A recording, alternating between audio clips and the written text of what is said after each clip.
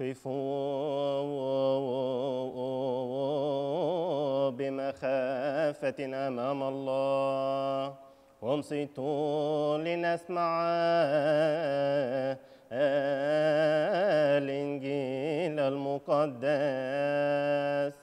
فصل من بشارة معلمنا ماري معلمنا مرقس البشير التلميذ الطاهر. بركاته.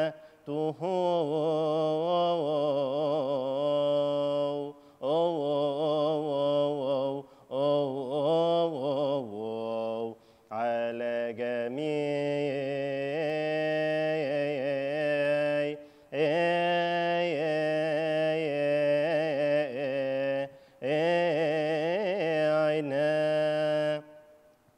من ترتيب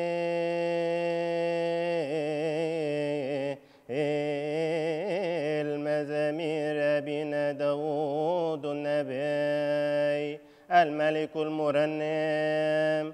بركاته على جميعنا آمين أوه أوه بارك الرب في كل وقت وفي كل حين. تسبحته في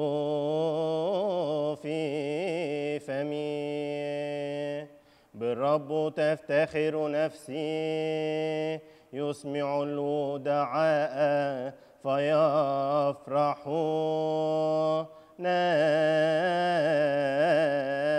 هللويا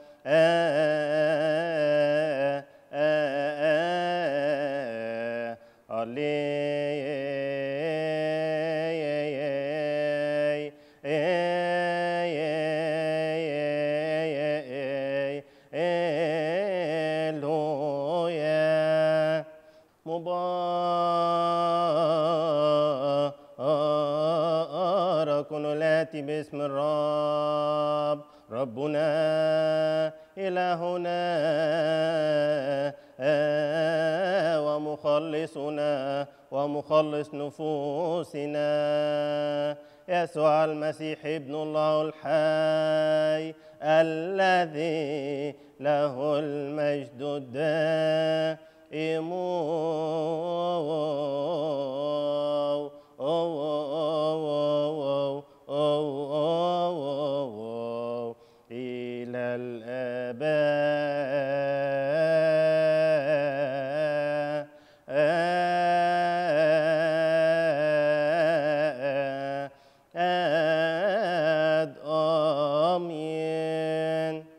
وبعد أيام دخل كفر نحوم وسمع الناس أنه في بيت وللوقت اجتمع إليه الجمع حتى لم يعد البيت يسعهم ولا ما قدام الباب وكان يخاطبهم بالكلمة فأتوا إليه بمخلع يحمله أربعة رجال. ولما لم يقدروا أن يدخلوا به من أجل الجمع صعدوا على السطح. وكشفوا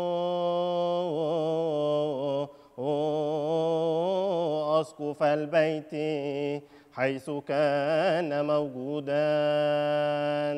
وبعدما نقبوه دلوا السرير الذي كان المخلع مضطجعا عليه. فلما رأى يسوع إيمانهم قال للمخلع يا بني مغفورة لك خطاياك. وكان هناك قوم من الكتبة جالسين يفكرون في قلوبهم قائلين ما بال هذا يجدف هكذا. من يقدر أن يغفر الخطايا إلا الله وحده؟ وللوقت علم يسوع بروحه أنهم يفكرون هكذا بأنفسهم. فقال لهم لماذا تفكرون بهذا في قلوبكم؟ ما الأيسر أن يقال للمخلع قد غفرت لك خطاياك؟ أو أن يقال قم واحمل سريرك وامشي ولكن لكي تعلموا أن لابن الإنسان سلطانا على الأرض أن يغفر الخطايا. قال للمخلع لك أقولكم واحمل سريرك واذهب إلى بيتك. فقام للوقت وحمل سريره وخرج أمام الجميع حتى تعجب الكل ومجدوا الله قائلين ما رأينا مثل هذا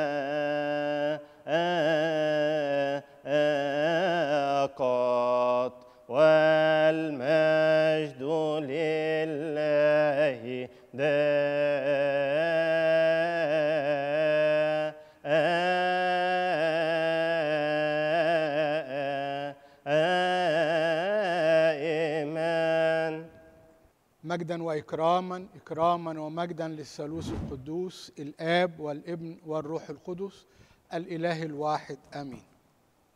إنجيل الأحد الأول من شهر بابا حدثنا عن شفاء المفلوج.